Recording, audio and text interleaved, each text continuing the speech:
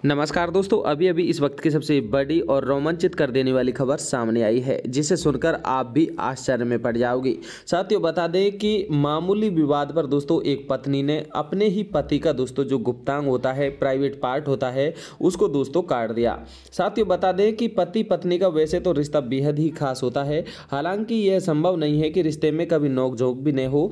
लड़ाई किस रिश्ते में नहीं होती, किसी भी रिश्ते में झगड़े होना आम बात है, लेकिन जब यह हद से ज़्यादा बढ़ने लगे तो परेशानियाँ शुरू होने लगती हैं। जी हाँ साथियों, बता दें, ऐसा ही मामला सामने आया है राजस्थान के बाड़मेर ज़िले से, जिसमें एक पत्नी ने अपने पति का गुस्से में गुप्तांगी काट डाला।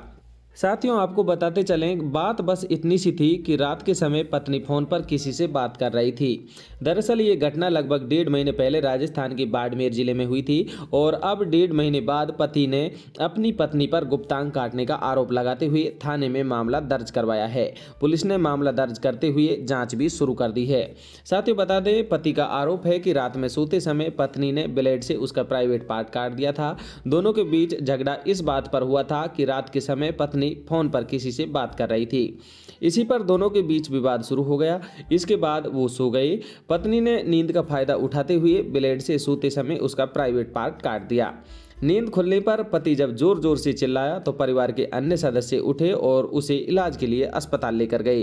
पति पत्नी के बीच हुए विवाद ने इतना बड़ा रूप ले लिया कि गुस्से में पत्नी ने अपने पति का ही प्राइवेट पार्ट काट डाला था। यह घटना बाड़मेर ज़िले के धोरीमन्ना थाना क्षेत्र के भलीसर गाँव की है।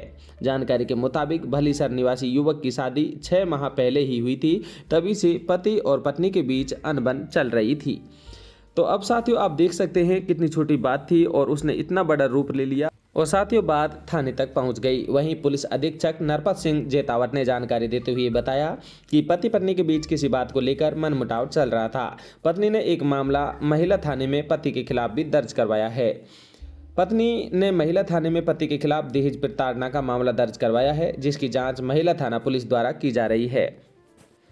साथ ही देश दुनिया से जुड़ी हर छोटी बड़ी अपडेट आपको हमारे चैनल पर मिलती रहेंगी, इसलिए अभी ही चैनल सब्सक्राइब करें, बेल आइकन को प्रेस करें, वीडियो को ज़्यादा से ज़्यादा शेयर करें।